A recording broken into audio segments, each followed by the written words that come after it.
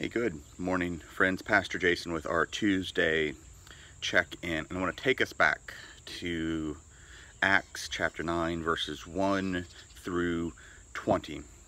Because I, I came to a bit of a realization as we worked through this and kind of last week leading up to the sermon as Pastor Angie preached on it on Sunday. And then as I, I got to kind of work through it with the youth group on Sunday night some, well, that Jeff was off um, it, it occurs to me that I don't think I fully grasped everything that was going on in Saul's conversion until maybe till maybe maybe now and maybe I don't even have it now but I think I'm closer.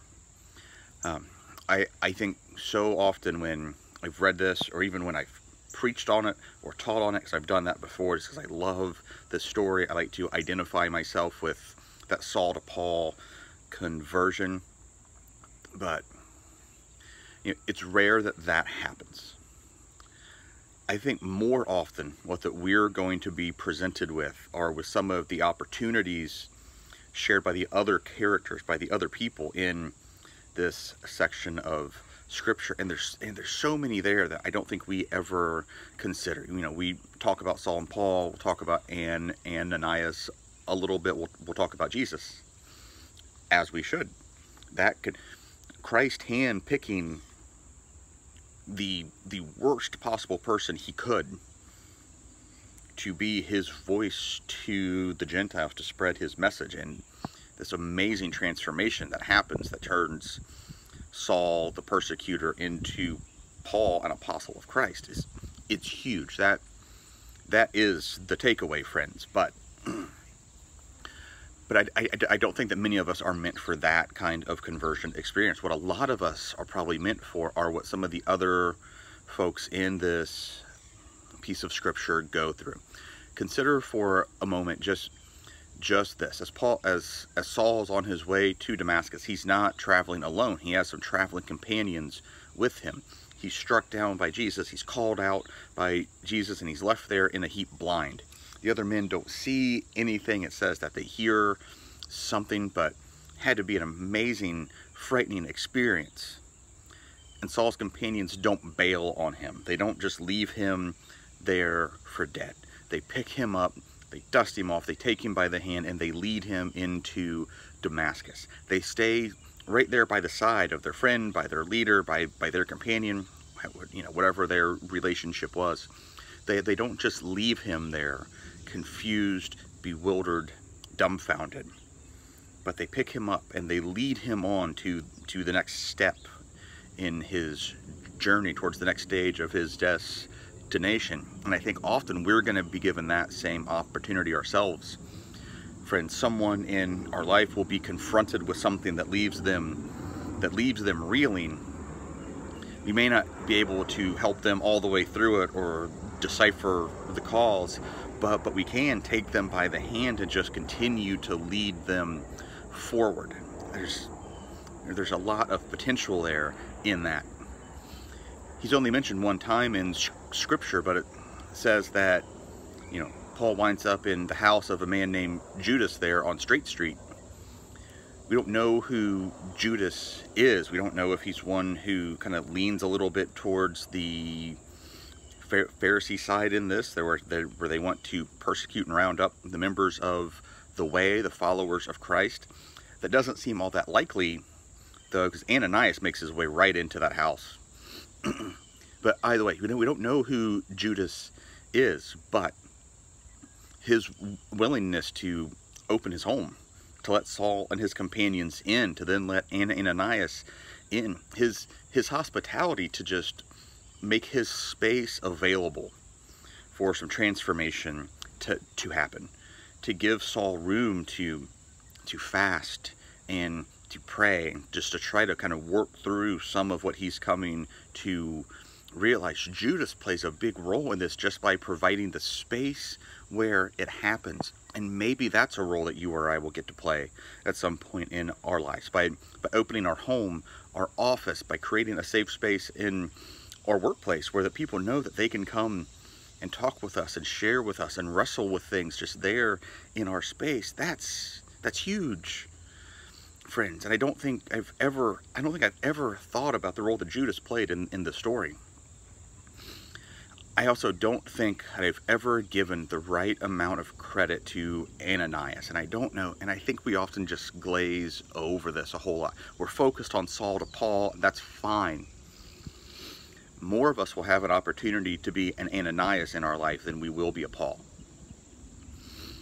An Ananias is told by God to go to a man he's afraid of, a man who's different than him, a man who could physically hurt him, and go lay his hands on him and pray for him. To go be an instrument of peace, go be an instrument of love, go be an instrument of the Holy Spirit to this man who, if he regains his sight, might kill you in that moment. That might be a bit extreme for what that a lot of us will get to do, but I think it's a very good, good assumption, friends, that at some point in our life, we're going to feel this nudge, we're going to feel kind of this voice in the back of, of our head that says, hey, go talk to this guy, or go sit next to this guy, or go say this to this person, even though that you don't know them. And our level of obedience to those promptings from God to speak into other people's lives, especially when we don't know them, or even if we do and we don't like them all that much. Our willingness to be obedient can lead to major transformations in our lives and in theirs. Not to not to try to bring this too much of a fine point, but I think it can be argued that Ananias is the hero of this of this story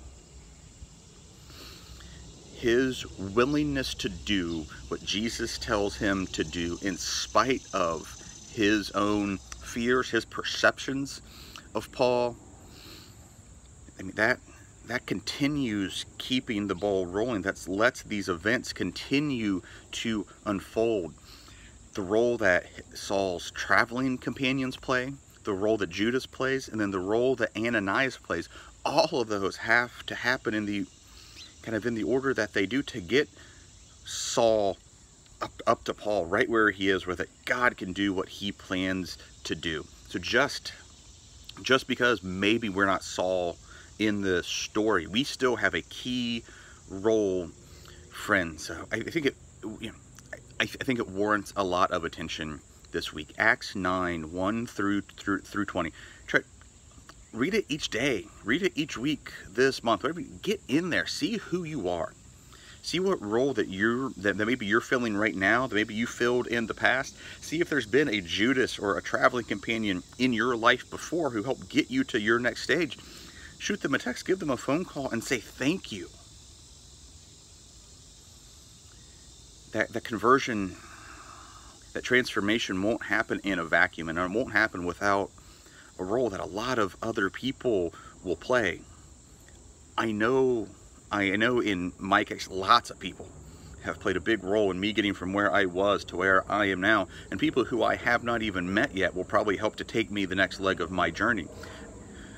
But we see from this story, we see from Acts 9 here, everyone has their part to play. And everyone, everyone needs to be willing to listen to the call of Christ to help everyone else along their journey as well. Friends, this, this video wound up going much longer than I thought, but again, a, a portion of scripture that I've preached on on a couple of occasions that I've written about that I, you know, that I self-identify with, I'm reading it in a whole new light now.